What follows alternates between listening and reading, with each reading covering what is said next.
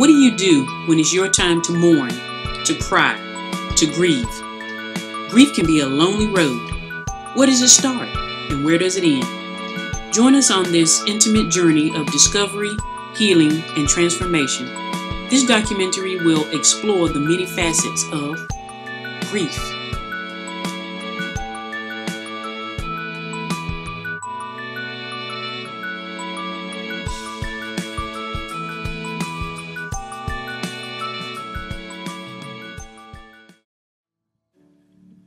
My mother died on Father's Day, June 18, 2017. On that day, my life changed. It was like I was stuck. And I knew that I needed to move forward. And I didn't know how. I needed to prepare for a journey that would empower me to face grief. A grief journey. I knew my story. But was my story different than others? So I decided to go on an excursion to ask others about their grief journey? When I think about um, the journey of grief, it's a lonely place. Um, and I'm only speaking from personal experience um, in the passing of people who've been very dear to me. That it's a it's a journey that, for me personally, um, I usually take alone. Um, it's very lonely. It's very isolating. And that can be a good thing in certain phases of grief, but in other phases, it could be um, maybe sometimes not so good to feel alone, alone and isolated. So I think you know it just depends on what stage you're in um, at any given moment. But um, grief is definitely a journey that's individual to each individualized person. Thank you. And when you think about grief uh, and how you've had to experience that, and you know, we're talking about having grief journeys. Mm-hmm. Uh, can you tell us about one of your uh, most vivid, most transformative, uh, and uh, most powerful grief journeys that you've had to experience? Um, well, as I've had, you know, I'm, I'm only 47 years old, but um, I've had a lot of important and pivotal um, game changers in my life who uh, have passed, people uh, in my family, as well as um, members of my home church who were very instrumental in me being the person that I am today. And so uh, I've experienced um, grief or the loss of an individual, but my one of my most difficult um, journeys of grief was in the passing of my um, cousin, my first cousin, Sandra Faye Clark. Um, that's a loss that really brought my faith in God into question in a very, very um, difficult way. Um, and it's a grief that I dealt with for many, many, many, many years. And I had a deep seated unforgiveness um, towards God with the passing of Faye.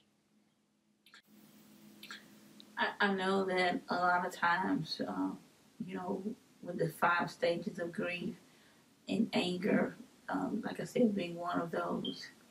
Uh, and I think that you're not alone. A lot of times people are just not angry with themselves, but uh, they also are angry with God. Uh, and some people are in that state or in that uh, phase or in that particular uh, pathway currently on their grief journey. What did you do to maneuver through that and to uh, continue on to a place of healing?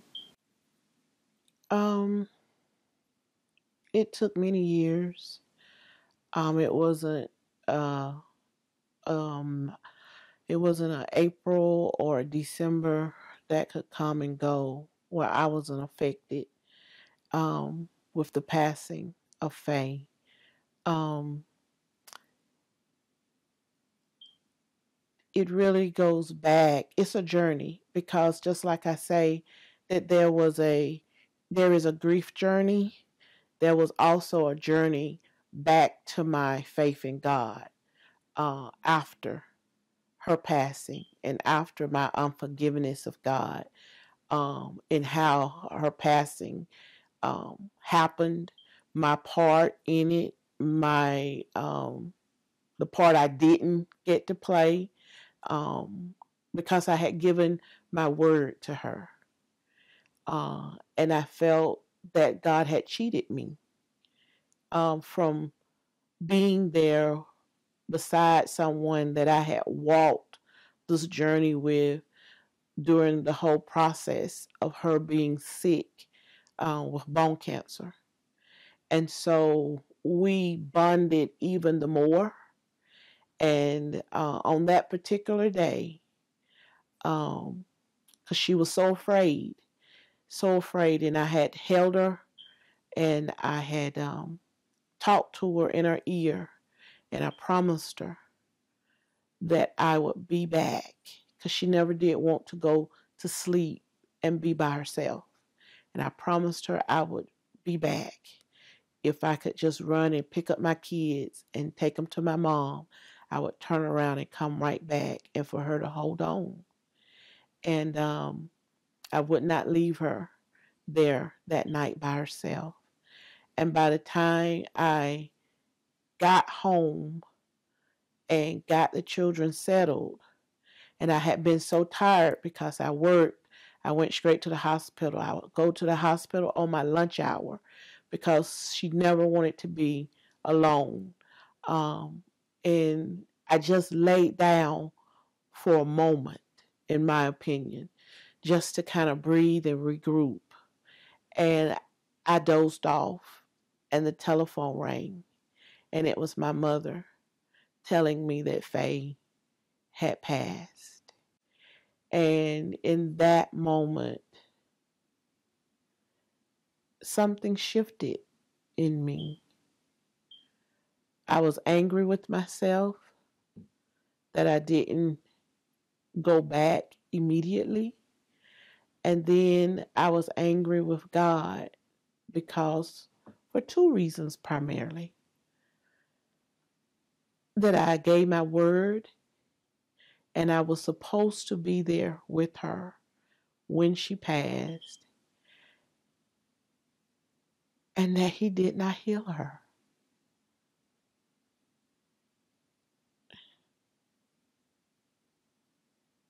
He was supposed to, and he did not. Wow.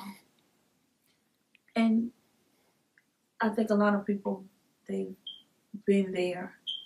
Um, reminded of in the scripture when Mary and Martha told Jesus, Had you been here, he never would have died. And so a lot of times we sometimes question the sovereignty of God. Um, and that sounds like something that you have had to, that you experienced in that particular situation. Uh, and I want to ask because you said that it was a journey and that it took years for you to get to a point of, of peace, uh, if that's a good word to use. Um, but what were some of your grief practices that brought you to a point of reconciling uh, your grief and your pain with understanding that um, God is still sovereign and God is still good. But for years, I couldn't talk about um, Faye. I couldn't talk about her passing. Uh, when people, and sometimes on when people are dealing with grief, they some people go through it liking to talk about the person, uh, and so coming from a big family, people would always be talking about Faye, remembering Faye. And during those times of my unforgiveness and anger, I didn't want to talk about Faye. Um, I just needed to hold on. It was like I was storing up anger. I was storing up grief. I was storing up so much hurt. And it was mine. It was mine. So uh, I didn't want to be in a space where you're laughing and talking and, and, and joyful. I didn't feel like there was anything to be joyful about. I was still in so much pain um, with her her passing, and so I would isolate myself. I would pull away um, from family members or gatherings, but so I wouldn't talk about her. But my mother would always tell me. And I think on some, because I remember when she called me, I kept saying I was supposed to be there. I told her I was supposed to be there. And she said, and I'm, I didn't want to hear it, or I don't think I really heard it when she said it to me over the phone. She said, God didn't intend for you to be there. Just as soft and as calm. And as weeks went on, and after her funeral and everything, during me being so hurt and angry, um, just out of the clear blue sky, when I would be over my mom's, I don't know if she would see just how angry I was or how unforgiving I was towards myself or towards God. And she would just say out the clear blue sky, we could be in the kitchen or whatever, she just would say, God didn't intend for you to be there. And so, one of the things that began to lead me back, because after that, uh, when I did take hold of her question, I had the question of why. You know, why didn't he intend for me to be there? I couldn't understand how being there to take care of her physically like that and being there to drive her to all of these healing services, you know, and and get her dressed and carry her and and um I mean some of them we would go to and the minister didn't even show up. So after being there for someone through so many months, uh I, I my question was, why? All I said was I'm gonna come back. And why wouldn't God intend for me to be true to my word and for me to be there with her as I had been before when she took her last breath? And so that also then began my journey of why were other people allowed that to me hadn't been there as much but they got to bear witness to her testimony because she gave a powerful testimony of her journey of passing, but yet I wasn't allowed to witness that stage of her crossing over. And so to this day, I don't know why, but I trust, I have to trust that um, it was all in His will. And I thank you for sharing that uh, and being so transparent. If you had to speak to someone who is currently where you were in their grief journey and asking God why, um, and not understanding how they prayed about it and fasted about it and cried about it and uh, believed God for healing. Um, and the healing didn't happen the way they um, had hoped that it would. And they themselves are angry with God, uh, what would you say to that person in terms of what what advice would you give them uh, on their grief journey uh, so that they won't get stuck in a place of pain and unforgiveness? To be honest with God about how you truly feel. Um, I think that's that's being transparent with God because He knew anyway how I felt. Um, being able to verbalize it and not faking it to fitting in, not faking it so that people, especially um, church people, um, won't move your process of grieving on for you when you're not yet there. And you know, a lot of times with church people, um, you praise your way through grief. You know, you glorify God through grief. And that's not everyone's process. So I would encourage someone to really get clear and get still about what the passing of their loved one really means to them, not on a surface level, but on a true soul level, because your soul has been shaken. And if you had, um, if you were a practicing Christian or someone of faith, and that has been shaken or shattered, to really seek God in prayer, even if you don't have the words to speak. Say, God, I need you or help me. But keeping some form of um, communication with spirit, with the universe, uh, is key. And then getting to a space, because you, for me, I was closed off for a while. I didn't want to hear from God. It's different stages, and and when you hit that stage of pure brokenness, when your heart is so heavy with pain, so full of grief that you don't think that you could inhale not one more time without your whole inside shattering. Um, that's when God will step right in and actually gather up and hold all the pieces of your broken heart as they crumble right before his throne of grace.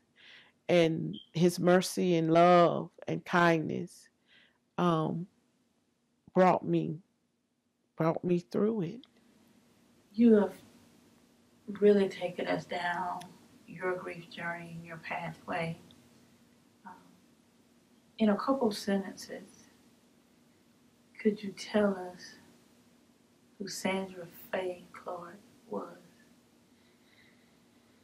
Hmm. Sandra Faye Clark, as we called her, Faye, was she had a huge heart. Uh, a huge heart. She was a giving person um, to the, to the end. She was always willing to serve um, wonderful singer. She sung on the choir. Faye was always involved. She was active. She was a go getter. And um, she got saved at the age of six years old. She was the youngest uh, person that my grandmother uh, ever got saved in her church. She accepted Christ and was baptized in Jesus' name and tarried for the Holy Ghost at the age of six and never left the church. Uh, she, when she left, she left to go to glory. And so she had a powerful testimony of what God had saw and brought her through uh, all of her, her years. So she was an extraordinary person. I miss her to this day. Um, outside of my grandmother, Faye means the world to me of those who have gone on. If I could, that sounds like she had a powerful testimony. Would you mind reading it for us?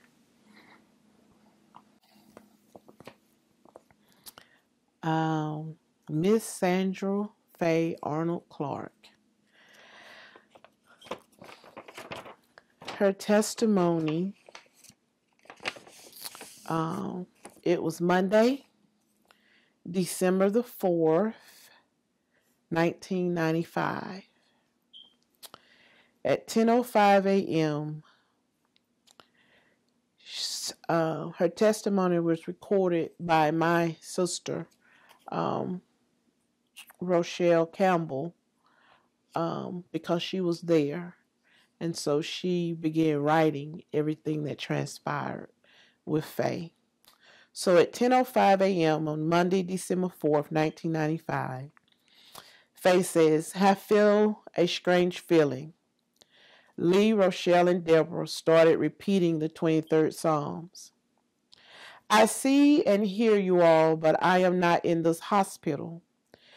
I am half here and half somewhere else. Don't cry, Lee. Lee was her sister. Don't cry, Lee, Shell, and Deborah, which were her cousins. I am in a dark place. Oh, I'm going through. Oh, I see Jesus. Shale, I'm flying. I'm flying up. Oh, Jesus, please let me see Jonathan. Jonathan was her son. About 12.05 to 12.30, Faye saw Jonathan. He arrived from Chaban. That's where he was stationed. And he was trying to get home to see her. 3.25 p.m., I feel that feeling again. Oh, Jesus, I'm tired of suffering. I'm tired of not being able to breathe. Oh, Jesus, please. I'm so tired. Okay, Jesus. Pastor Campbell and Aunt Luty, Aunt Luty is my mother, told me you would be with me. She asked earlier if we could hear Jesus talking to her. We replied no. It must be a conversation between you and him. 9:15 p.m. Shell, I'm having that feeling again. Hold me, Shell. I held her. That's what my sister said. 9:30 p.m. Faye repeated about 30 times. Don't worry, don't worry. Shell, don't worry. Uncle Joe, don't worry. Mama, don't worry. Shell, call Pastor Campbell and tell her don't worry. Tell Aunt Luty, Uncle Bruh, and Lee not to worry. Deborah, don't worry. Tell the children, don't worry. Oh, Jesus, I'm ready. 9:40 p.m. Yes. Jesus, Give me water, Shell. I gave her some water. Thank you, Jesus. I'm saved, she smiled. Jesus is here. I see Jesus. Her body quickened with the Holy Ghost as Mother Arnold, which was her mom, Elder Joseph Corn, which was her uncle, Sister Rosa Sutherland, a sister in the church, and Rochelle, my sister, repeated the 23rd Psalms. Faye gripped hold to Shell's hand, and Faye's body quickened again. She did not let go of Shell's hand until she took her last breath at 9:50 p.m. Faye's last testimony written by Rochelle Campbell.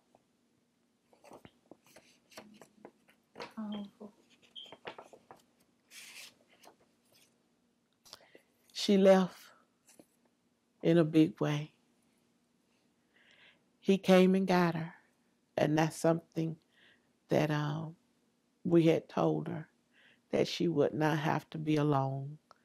That Jesus, whom she loved, known, and served since the age of six, that when it was time for her to go, home, he would be the one to come and get her.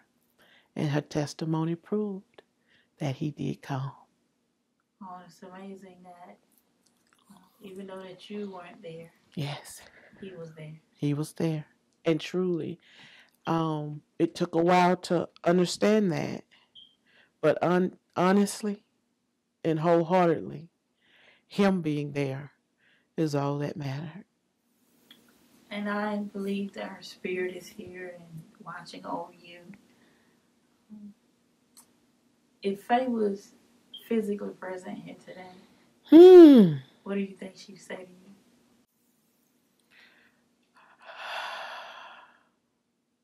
Do it, girl. Do it. And do it big. That's what she would say. Because in everything she did, they always went all out.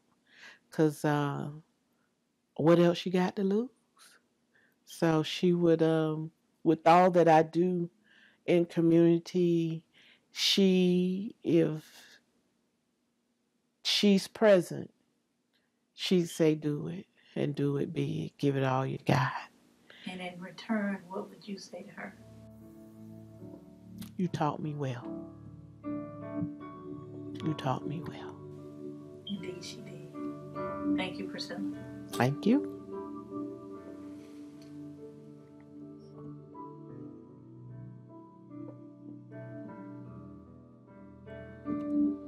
For me was a bag of confusion. It's a bag of confusion for me because it comes with, with so much. It comes with not understanding.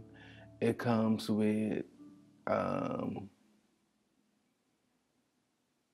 it's just a bag of confusion for me. If I if I had if I had to say one word, it's a it's a mix of emotions, you know, and um, and for me, grief is hard because I don't know how to intertwine it because actually while I'm trying to grieve, it always seems like so many other things are going on. You know, I'm the type of person when I grieve, I want to grieve alone. You know, I don't want 500 people asking me, is it something I can do for you? You know what I'm saying? I don't need that because that, that take away my focus. I need to be to myself. I need to be in peace and quiet because that's how I associate with God. I can't do it with folks knocking on the door, bringing food, flowers, and all that. It's not how I work. I have to work sitting, talking with God in silence. Then I can allow other people in. You know, I have to, my mind just works different. I have to deal with it myself first, and then I can embrace others in. Uh, as you know, we're talking about grief journeys. Uh, and a lot of times people think that there are certain ways that people grieve. Uh, and so, um, and I am really just exploring different uh, individuals' grief practices. I know that sometimes we um, grieve one way for a parent, grieve another way for a spouse, and, and then we grieve another way for a friend. Um, so, first of all, I just want you to kind of first tell me a little bit about yourself. Okay. Well, my name is Marcus Davis. I'm the deacon at Amani. And with that comes responsibilities. One of them is being a caregiver when needed. I sort of felt like being a caregiver came naturally because I was doing it without even knowing it. Uh, it just fell in my lap. I've been doing it for years, not knowing it. And then once I became aware that what I was doing was being a caregiver, um, it was such a fulfilling joy.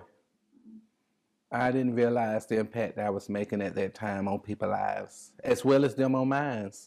Because in doing it, it helped to teach me patience. Um, it helped to teach me to be humble.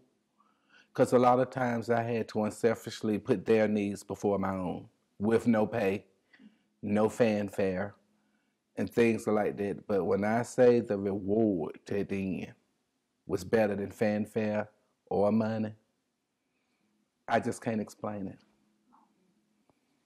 And I know that during this time of um, bonding and caregiving, uh, relationships develop, and Mhm. sometimes a person becomes more than just a, a patient or hmm someone that you provide and care for. Yeah. Uh, could you talk about how friendship has evolved as you do what you feel like you're called to do? Yeah. Actually, being a caregiver, that person have to really trust you. That person is trusting you to make health decisions that's gonna fit the rest of their life. No how no matter how long it may be. Being a caregiver, a person may start weaning you into their financial part of their life where you help oversee that. That's that's trust. So it really becomes a bond between two people or several individuals. A person have more than one caregiver, but it becomes a real strong bond because they're pretty much putting their life and a lot of their major decisions in your hands. So they trust you. You know, and as that trust, you know, evolves, and what we're talking about uh, is grief. hmm Um, and I know you've probably, you know, you've been a caregiver and you've seen people recover and, and go on to thrive, but you've had to go down that road of grief and you've lost individuals that you have invested, as you said, time and, and, and trust and vulnerability has been shared, and then yet you've had to see that person transition. Could you tell me a little about your grief journey and how you deal with that uh, when you have to lose someone that you've been caring for? Right. Well, like you said earlier on in our interview, um, my grief process was different between family members, friends, co-workers. It depends on the relationship. It depends on during the process of giving for them how much control they give you. You know, I've had some people that just wanted me to take them to the doctor. Well, I had other people who wanted me to make their medical decisions. You know, I've had people to, when the doctor asks them would they want to um, be revived, they would ask me, should they or shouldn't they? And that that's a big step. But um, for me, one of the things that really helped me, and I hope it helped someone, is I heard when um, a friend of mine transitioned, Pastor told me that grief come in waves. Someday there'll be big waves. Someday there'll be little waves. Some days there'll be no waves. Because when I personally thought about grief and how grief would affect me, I thought it was going to be three weeks of just crying, crying, crying, not wanting to do nothing, not wanting to go nothing. But I realized for me, grief comes in spurts. It comes in seeing somebody who hadn't known the person past and ask me about them. You know, and it may be a happy occasion, and all of a sudden somebody say, "How is so and so?" And then it, you know, I have to break down to them they pass, and then nine out of ten, a person will know how they pass. Did they suffer? Was it, you know, was it long? And depending on how I have to go into that with them, depends on how it affects me.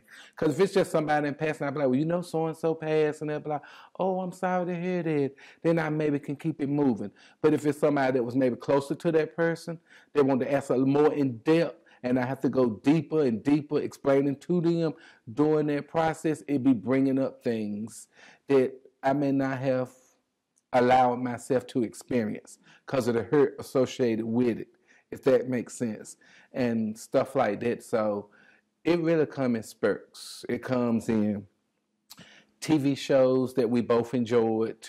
You know, it's a new season. This person in transition, but the story that took a storyline. This would be the person I would call up to share about it. You know, if I call you, you might be like, "Oh, that's corny. I don't watch that." But me and this individual really shared that show, all the fun that came with it and stuff. But they're no longer there to do that. So when the show is on and I want to share it with somebody, they're not there. So sometimes a sadness come over. You know, um, birthdays, Christmas, things of that nature. But the person I'm speaking in individually is my good friend Brenda. She used to come with me to church and stuff. That's one of the reasons why I chose to do the interview here. I was gonna do it at hospice where she passed because during her roughest times, I would take her out to smell the roses They had a rose garden.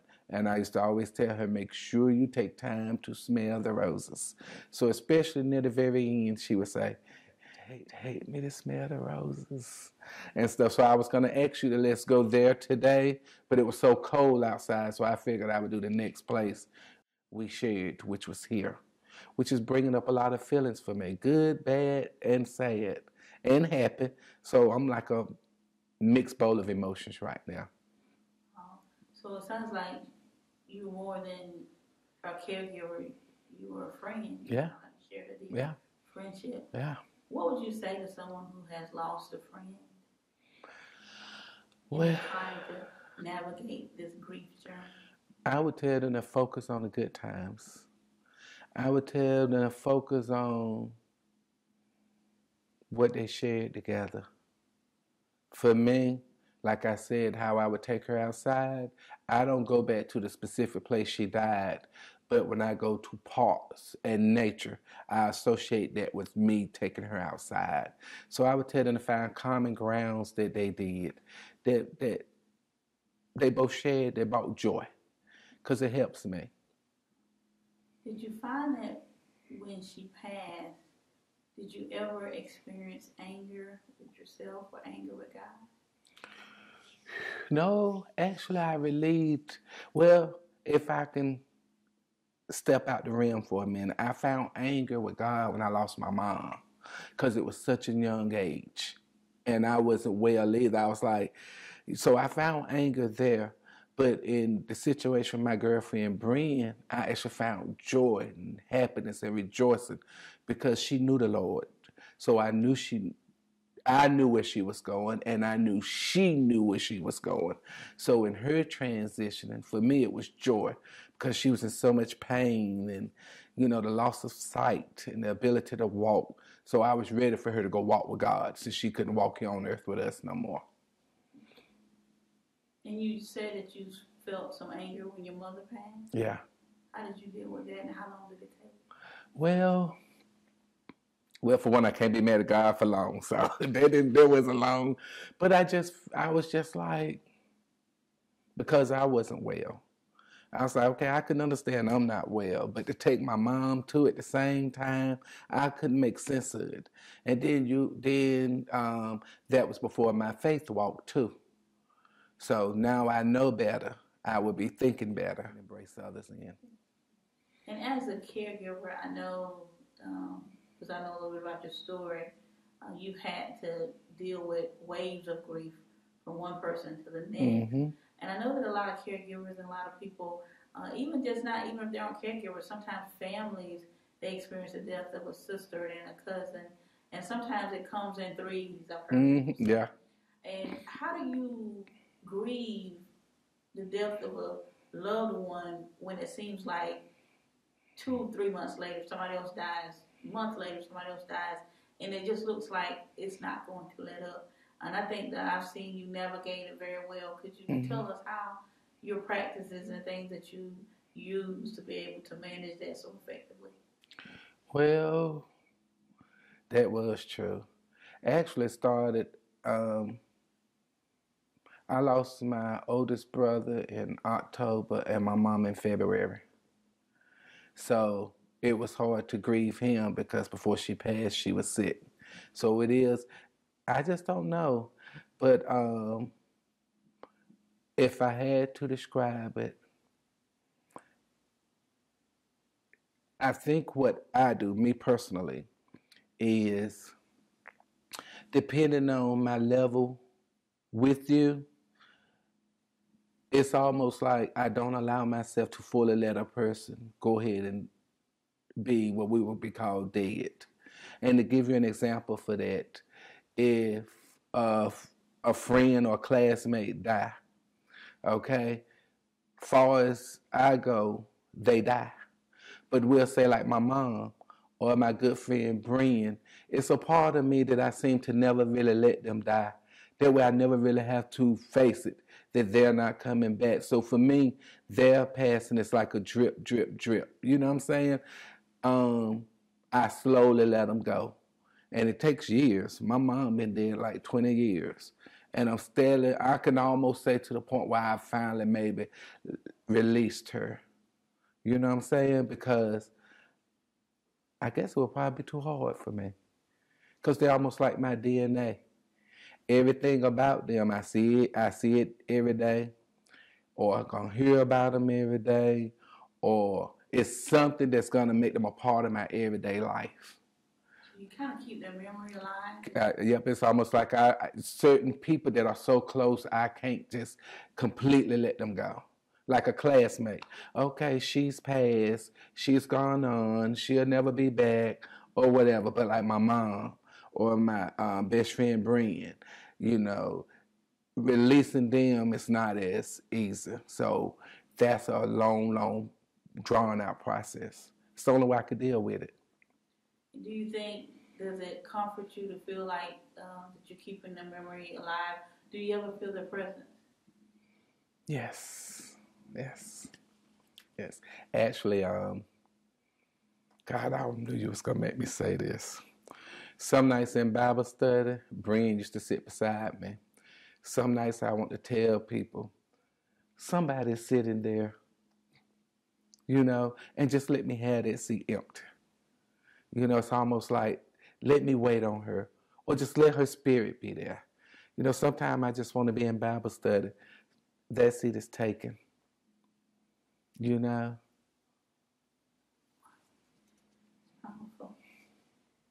In grief, I know that a lot of times people grieve the most because they're seeing things that they never got to tell their loved mm-hmm. ones. Do you ever feel regret? Oh, yes. Oh yes, many of them.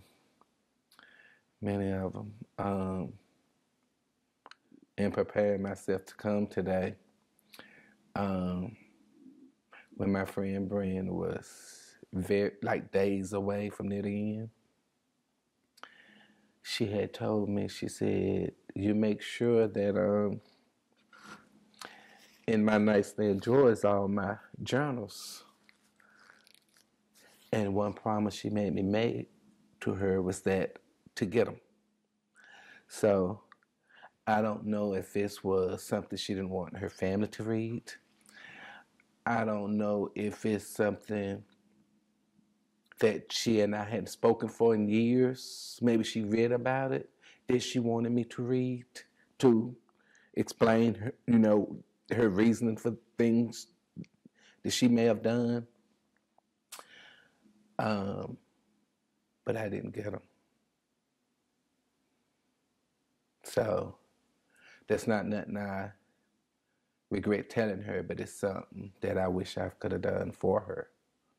But then um, as I prayed on it, I was saying, I know God do things for a reason. So maybe it was something in those journals wasn't meant for me to see or read or whatever. So and I noticed that you mentioned God and church and your prayer life. How has your faith been instrumental on in you navigating your grief journey? Oh man. Well, let's just say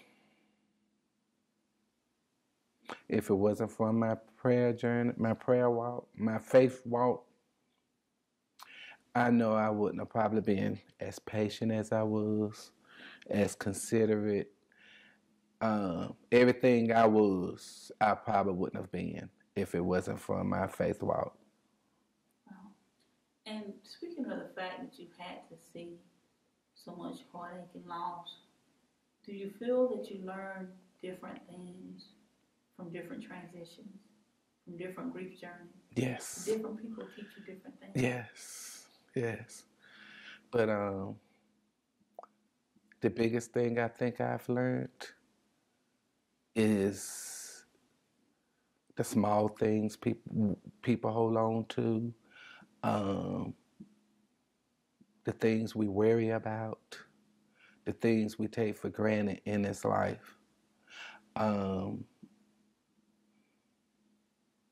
one of them was people transitioning and worrying about what people thinking uh, I'm not speaking on one person in this part, people transitioning and I've had a person that was gonna be leaving this earth in like three days.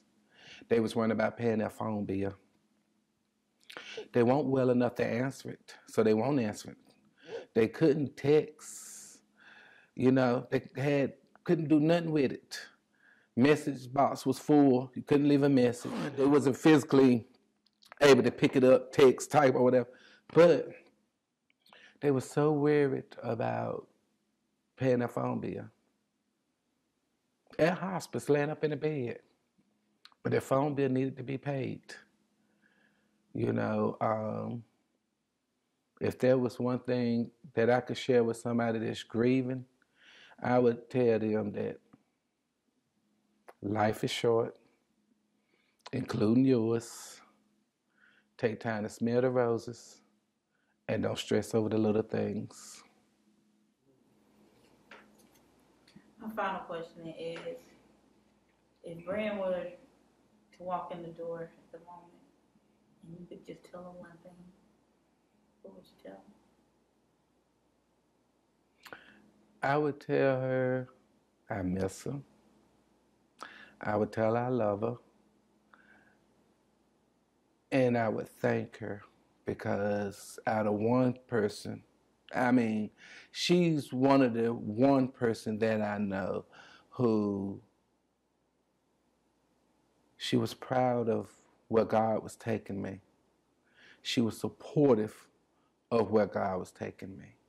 She would she would do whatever it took to keep me on my faith walk. If I got discouraged, she would read, she would just recite a scripture and go in depth to it, to my heart changed, my thinking changed.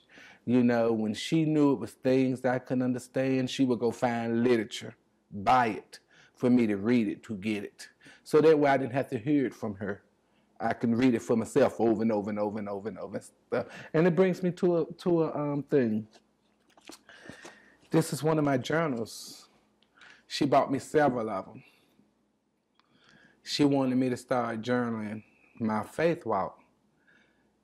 And if I could, I'm gonna read you the first paragraph out of it if you may.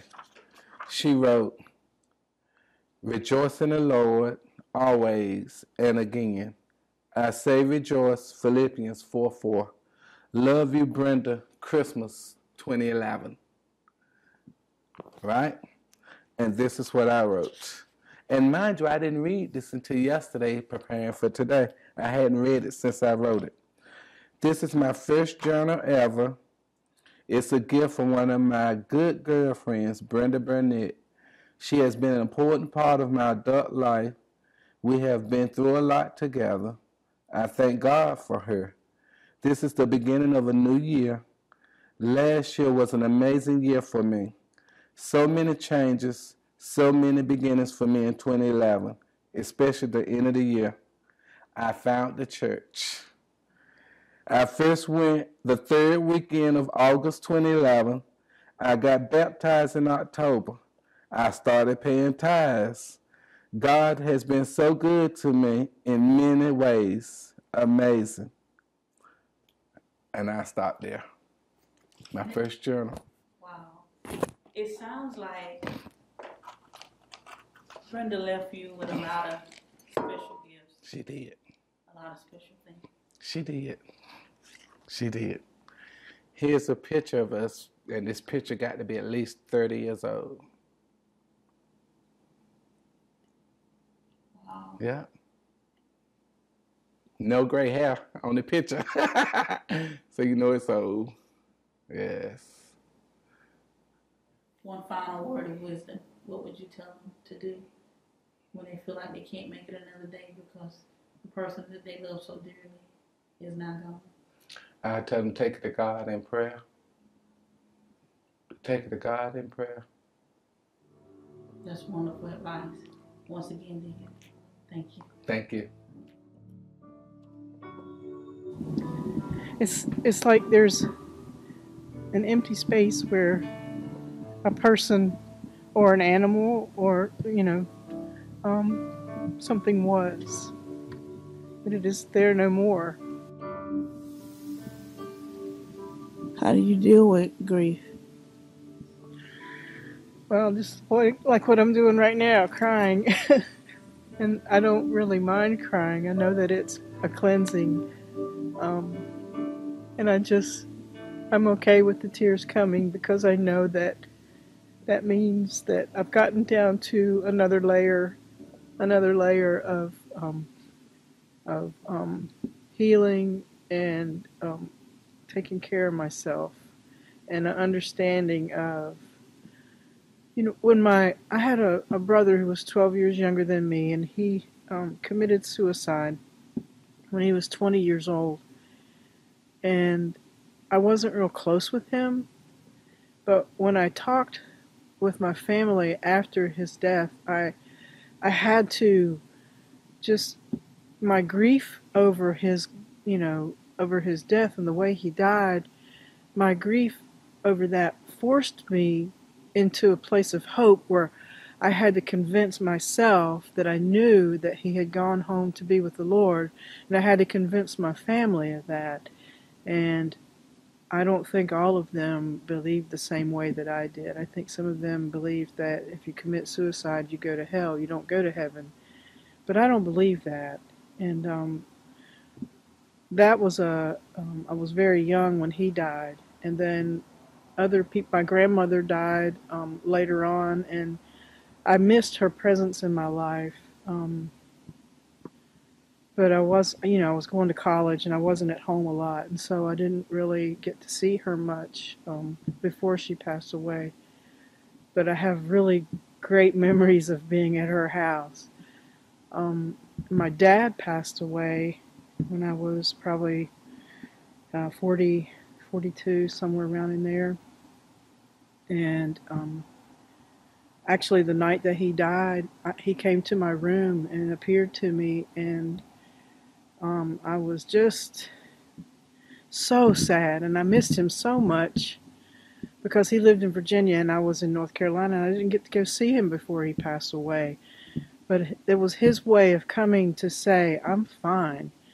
He was smiling at me, and um, he just sort of stood there like he always does with his hands in his pockets and just smiling at me like I'm I'm okay. I'm going to be all right and you will too.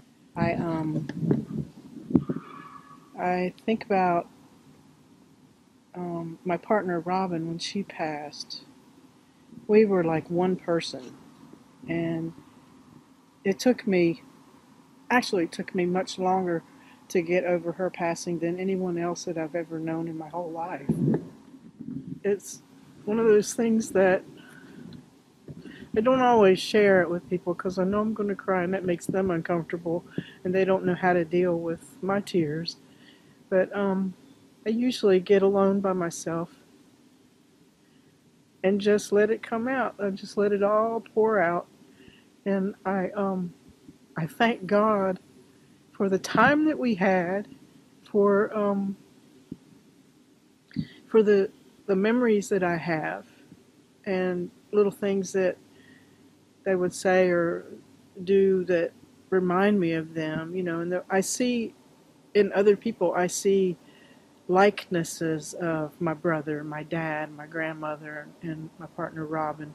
I see likenesses, and it's God's way, I think, of saying, you know, they're not here, but you are, and you still have you still have a destiny to fulfill. So, um, prayer helps a lot. Um, just being thankful. Music helps me forever too. It's always been my way of dealing with emotions that are hard, emotions that are very strong and raw. Um, it's it's a way to calm my spirit down and um, actually it's good because music comes out of that that I can share with other people. So I know that it's it's good. It's it just feels right for me to to write music and to to play and sing. Thank you, Todd. You're. Toddie, Let's pray first. let's pray. Okay. Lord, I ask that you be in this time, that um, we would just give you glory and that you would be in our presence, in, in our midst. And bless this project for Annie. Help her to grow in the knowledge of how to run the equipment and to put together the final product. I ask that you bless the work of her hands because she wants to please you. And may this, um, the topic of this documentary, touch lives in a way that brings people closer to you. Thank you, Lord. Amen. But um, Music has always been a part of your life it has. Um.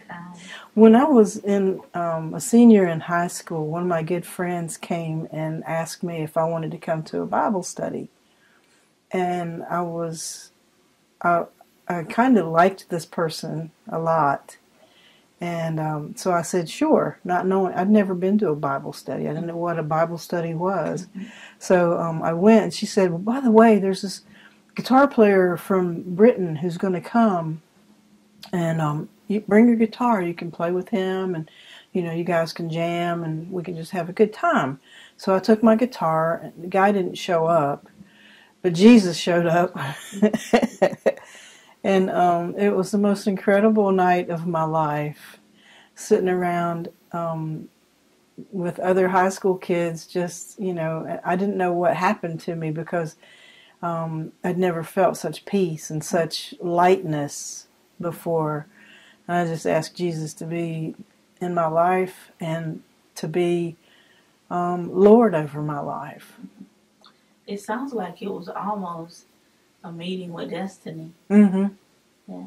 In a very musical place. Yeah, Nature. yeah. Tell me about Robin. Did was she music to your ears and a melody in your heart? She was.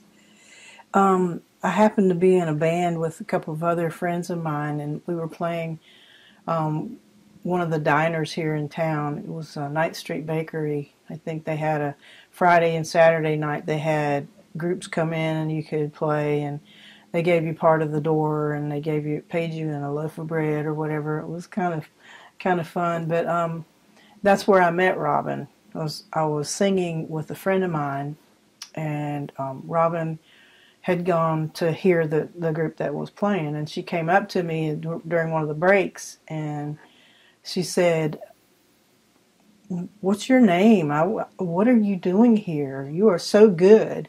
You know, and I was like blown away because I, I couldn't get past looking in her eyes.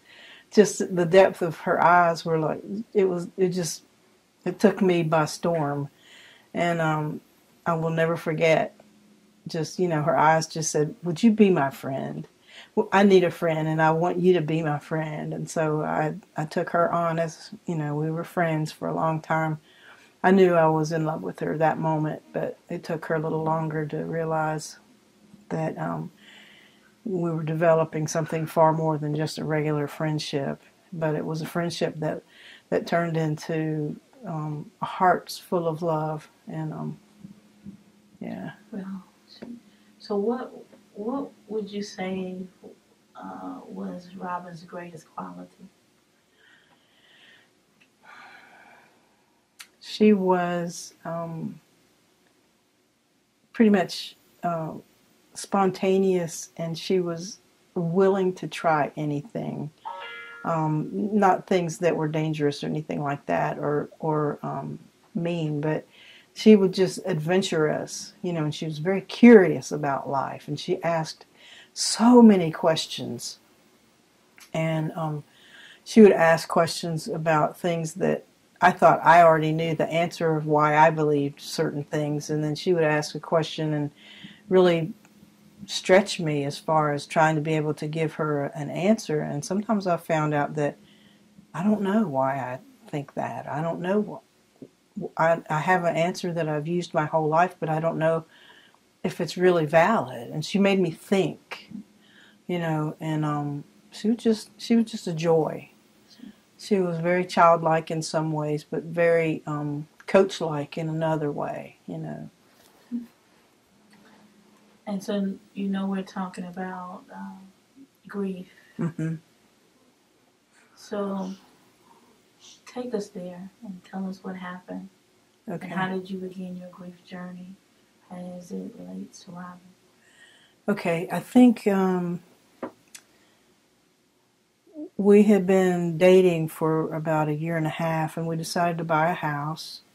We bought a house in Durham, and I was still working over at the um, RTP in the park. And um, she got a phone call one Friday afternoon from her doctor who said that she had cancer. And that's when my grief journey started. Um, I was afraid that I was going to lose her.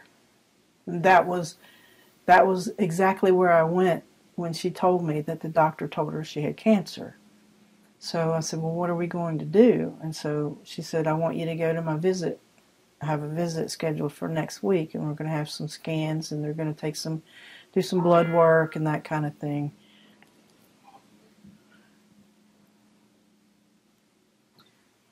It sounds like Robin was very um, important, instrumental, uh, a vital part of your happiness and joy, hmm uh, and the time that y'all that you shared together. Um, so I know it had to be very difficult uh, to to get the news, uh, to get that phone call, Yeah. and uh, how did you prepare? How did you process through that that telephone call? Well, there's really, I wasn't prepared for it at all. And so all I did after hearing that news was just to, I just reacted. Um, and I was trying to, to gauge what um, Robin was planning to do um, and see how I could help her. My focus really was not on myself anymore at that point. I was I was more concerned with helping her find um, find her way through the news of having cancer and whatever she needed from me, you know, going to the doctors and that kind of thing. I had no idea how grueling that was going to be. Um, she was at stage four when they discovered she had cancer, so she was pretty far along. Um, How long had y'all been together? Well, we'd only been together probably less than two years at that point. But you know, she um, she lived another probably ten years after that. I mean, we kept looking at things on the internet that said, you know, the mortality rate was very low and all this, and um, or was very high, um, and it was very scary. It just it scared me to pieces. And um, i was like i just found her. I can't be losing her now you know and so her cancer was um, non-hodgkin's lymphoma and she had an autologous stem cell transplant over at the hospital in unc and it was like eight weeks of being in an isolation unit and i was working and it was it was so hard. I was going to work, coming back home, feed the dog, go over to UNC, take her clean clothes, talk with her for a couple of hours, sit with her for that long, and then get her dirty clothes, bring them home, do laundry, go to work the next. It was just a circle. It was a circus of of activity, and I don't know how we made it through. So what was her disposition during this time? She was just like so upbeat. She was like we, we had things in her room that were colorful, um, stuffed animals that she liked. You know, we had it was like the nurses said, "We can see now this is going to be the party room," and she was just you know she was just vivacious, and she didn't she never met a stranger, so she would talk with you and and get into you know knowing you and that kind of thing and um, she was just a really special special person. Um, the last couple of days uh, leading up to her transition, hmm how was that for you? well um, Did you know it was happening? yes we did we we knew that um, it was, everything with her disease progression it seemed like Christmas time was the time that it got worse. For years, every Christmas, we just kind of knew oh, I'm going back in the hospital because now I've got this, I've got something else, and and we almost lost her several times before um, we actually had to put her into hospice. Um, hospice came to our house and they set us up, and she Robin said, "We need a team. We need a team to work on this. I can't. You can't do this by yourself, and I can't either." And I resisted for a while because I wanted to think that I could do everything that she needed to have done for her, but I couldn't. And so we had 12 people, and they would come at different times. And they were there um, the very last day that she was um, with us, right the afternoon that she transitioned. Um, I heard footsteps in the hallway, and I was like, "There's nobody here but me and my daughter."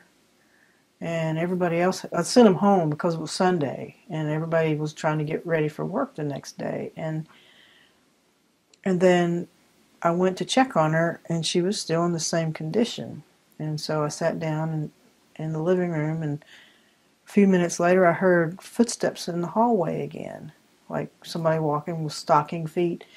And I went to check on her again and by that time she had passed. But she waited till everybody had left, and then she was by herself, and um, to to pass because I don't think she wanted me to watch. Well, as soon as I got back there with her and realized I think she's gone, I got a knock at the back door, and it was one of our other friends who wasn't really scheduled to come by that day, but she just felt like dropping in, and she happened to be an EMT, and um, Kathy. And so I said, Kathy, come here. You got to help me. And so Kathy came in the bedroom and I said, Is she still here or is she gone? And Kathy said she did couple of things checking for a pulse and she said, She's gone. And it was like, I, I kind of had a relief because I knew that she had been in pain so much and now she didn't have to be in pain anymore. And so I was glad for that, but at the same time, it was this sadness, this emptiness that it really happened. You know, it was we're really there now. You know, uh, Elizabeth Kubler Ross says that in order to conquer grief, we have to face it. It sounds like you crossed over into the threshold of grieving on that day and looked grief in the face, what did that feel like? Facing grief. Well, I didn't know that that's what I was doing. And I didn't know. I just didn't know the depth of grief that I would experience. Um, days and weeks later, um, I didn't go back to work for about a month, maybe six weeks. I wasn't ready to face the world.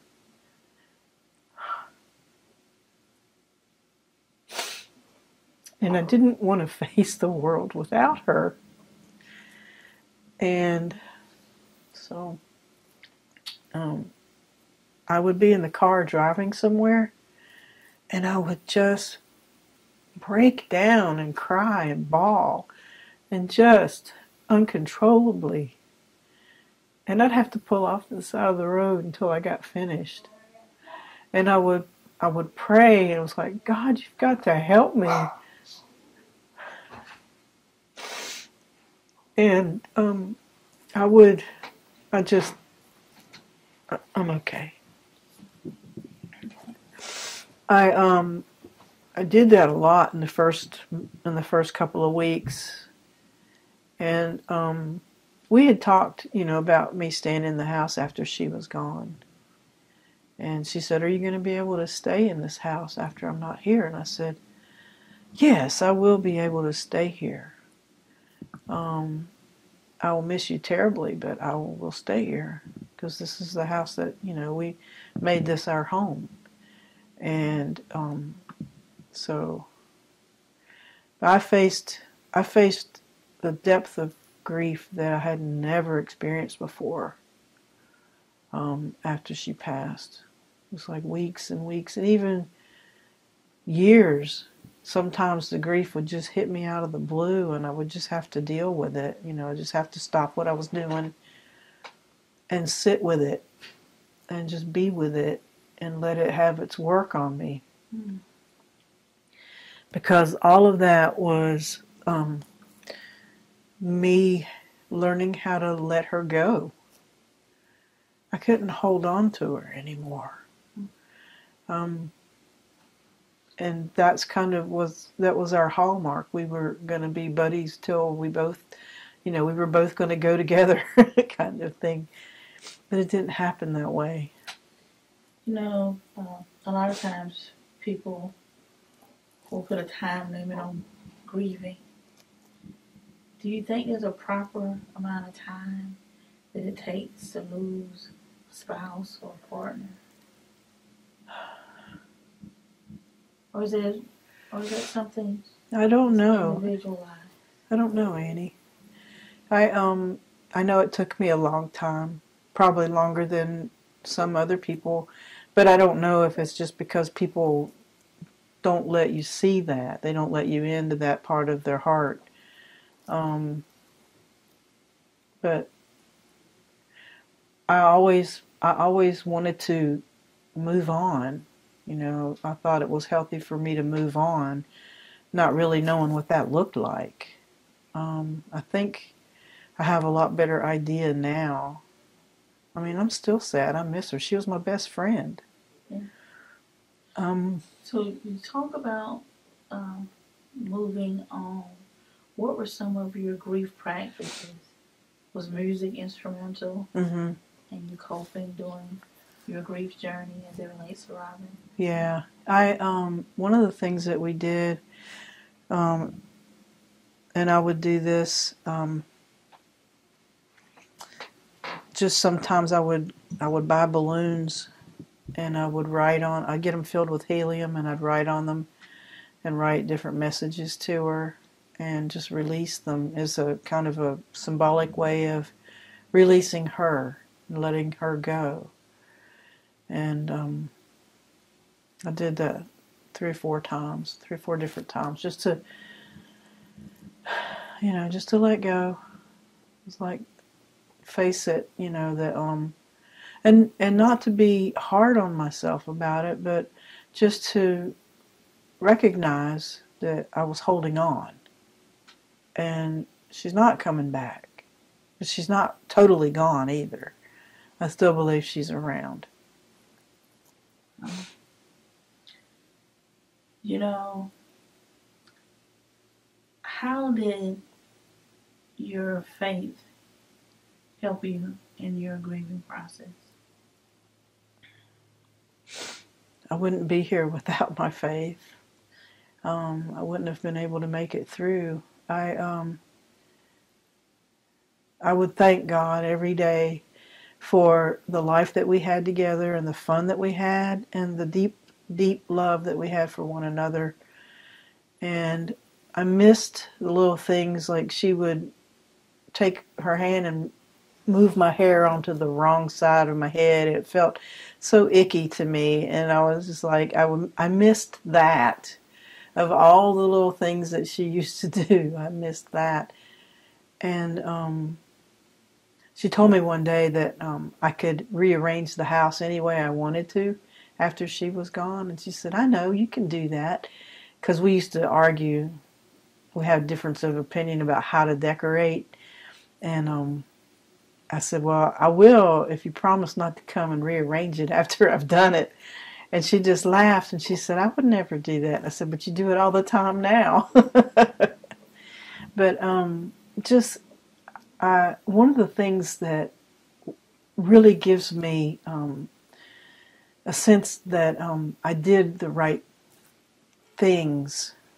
Um, um, I lived a life that Robin could see Jesus Christ in me.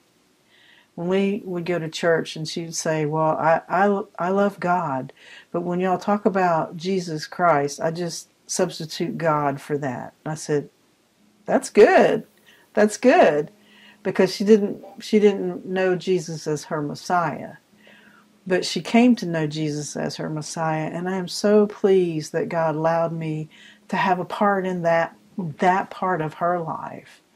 You know, to um to be able to witness with my life, not with my words so much, because she could talk me under the rug, but I I just lived my life in front of her, and she asked me questions about who this Jesus guy was, you know, and I told her who he was to me, and I said, I'm not trying to change your mind. I'm not trying to get you to convert or anything like that. And she said, Well, can I, if I accept Jesus, can I still be Jewish? And I said, I should hope so. He was Jewish. so it was just this on an Easter Sunday, she got baptized, and it was the most wonderful thing. And that was the day that I met um, my family here, Liz and Gloria, oh. that Sunday. And um, that was when that started, wow. that friendship. A lot of people are grappling with trying to cope with the pain of the loss of a loved one. Uh, what would you tell someone who has lost a partner, a husband, a wife, bone of their bone, flesh of their flesh. Mm-hmm. Someone that they've known very intimately and their hearts have been intertwined. Yeah. What advice would you give them as they travel their own grief journeys? I would start out with um, don't be afraid to feel what you feel when you miss them and to remember all the good things, all the good memories, and even write about them if you you know if you're a person that likes to write. Um, I did a lot of journaling, and I have um, notes and books of journals of things that I th- what my thoughts were, and you know because I didn't have her to talk to anymore, I had to talk some way. Um, and, but I think um, also I would have some little rituals that we used to do. We used to do things together. We did certain things at certain times of the year. Um, like at Valentine's Day, I would still celebrate Valentine's Day and I would dedicate, you know, a song to her and I would sing it to her. And um, I would have her favorite food, you know, on her birthday or just I would still celebrate some of those things that you know gave me joy and gave us joy when she was still here. Um, there are there are groups, uh, support groups, where you can go and talk with other people who are experiencing grief as well. Um, I went to a counselor and talked about it with them, and just because I wanted to make sure I was not stuck in it, I didn't want to be able to. I didn't want to get bogged down in it, you know, and, and just to check in, a reality check. Am I am I progressing somewhere in the normal range of how people um, deal with grief? Because, you know, I'm looking at myself, assessing myself, and I could fool myself too, you know. So, um, just talk about things. Talk about what you feel with other people that you know care about you, and um, don't be afraid to um, to talk to them, even though they're gone. You know, you can say, you know, I really liked it when you told me X, Y, Z, or you know, I really enjoyed our our cruise to Alaska. I really enjoyed our days at the beach. They were some of my fun, you know, most fun days. Um, so if Robin were to walk into the room at this very moment, what would you say to her?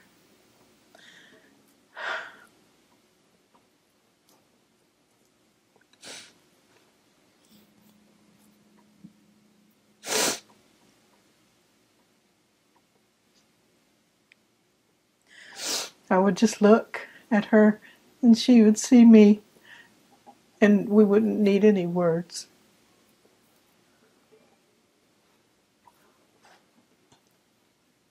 Thank you, Toddie. Thank you for letting me tell my story. God bless you. You too. So music, how it has been a part of in your life uh, in so many ways, um, and I'm sure it's still a very important part of your grief journey afterwards. Um, so if Robin was here and no words were needed, and you wanted to play her a song, hmm what song would that be? It's a song that um, I wrote for our union um, ceremony. Um, we couldn't get married at the time, but we had a union ceremony, um, and I wrote her this song.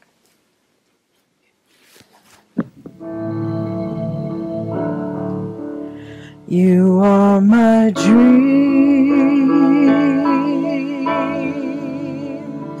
come true. You hold my destiny in your heart. Everything I want to be, all that I imagine, I see in your eyes when you look at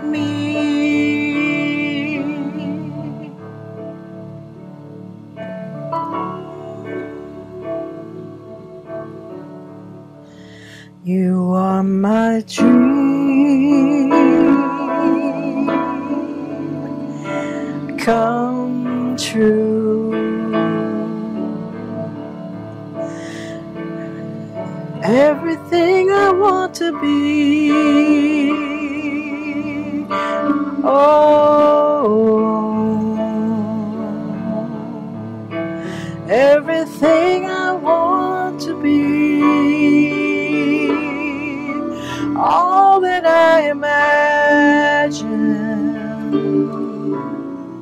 I see in your eyes when you look at me.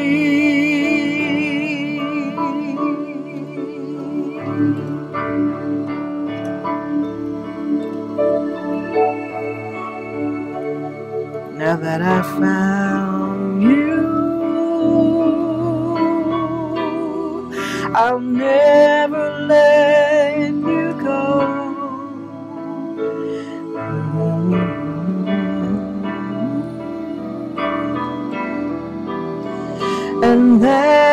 how I know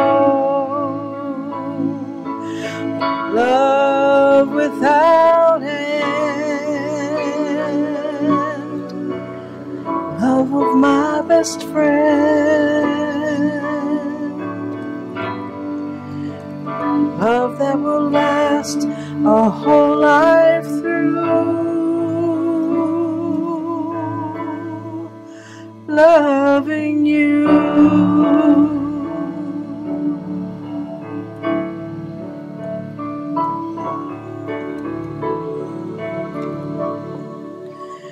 You are my dream